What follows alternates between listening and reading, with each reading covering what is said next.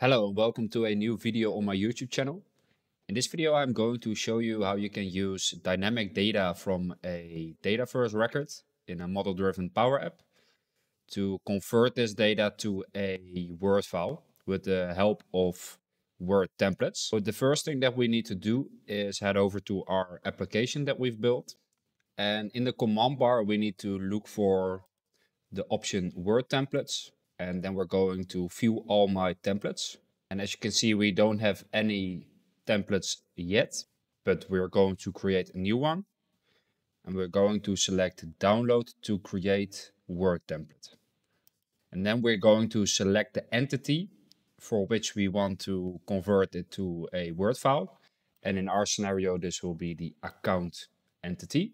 In these tier three sections, you will be able to select the relationships to other tables you'd like to use inside of the, the merge template. For now, we're just going to select them all. So we will be have, have every uh, possibility available. But for now, we're going to download this template. Okay, so we've downloaded and opened the Word template. And as you can see, we're starting with a completely empty file. Uh, we're now going to fill this with dynamic data. How we are going to add this dynamic data to the Word file is we're going to head over to the developer tab. And here you will have the option XML mapping pane.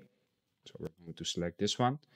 And then here, uh, just look for the entity name that you want to add the, the fields for and select that option inside of this drop-down menu. And here you will see our entity name for for us. This will be the account table. We're going to drop this down and here you can see all of the logical names for the columns side of uh, Dataverse in our model-driven application. And for example, if you want to take address telephone one, you can add the insert control and we're going to add this as plain text. And here you can see a placeholder.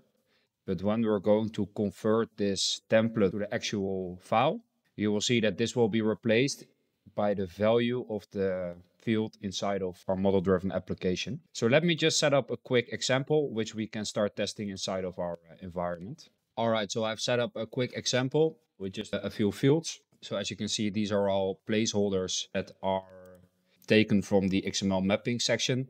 Uh, so you can just right click this and edit how you like. You can just add static data as much as you want. You can uh, add a logo, everything like that. That's just based on your needs.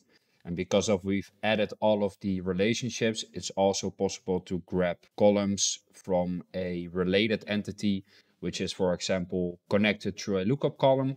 Uh, so that's also a possibility within the merging in, into a Word file. So now we're going to save this file and import it inside of our model-driven application.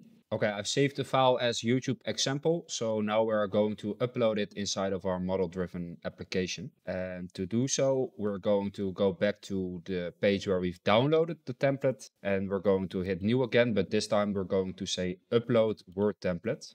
And then you will just be able to upload the file. All right, so as you can see, we've added our YouTube example doc and now we're going to hit upload.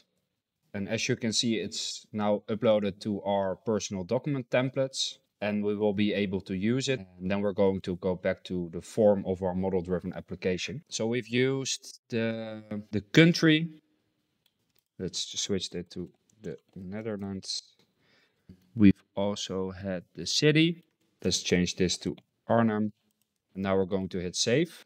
And then we're going to go back to the command bar here above. We're going to hit the three dots again. We're going to go to Word templates. Now we are able to see our actual template and we will be able to use this. So when we're going to hit the name of our template, it will automatically start generating the actual Word file. So we're going to test this right now.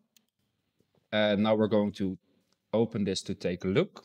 So as you can see, it generated ourselves a Word file with our dynamic data. So the name of the uh, account, the email address of the account, and the corresponding city and country. So when you're using this template on another account with different data, it will obviously generate it with their corresponding data. So this was the video about how to generate a Word file based on dynamic data from a model-driven application. I hope you guys enjoyed it and I'd like to see you guys in the next one.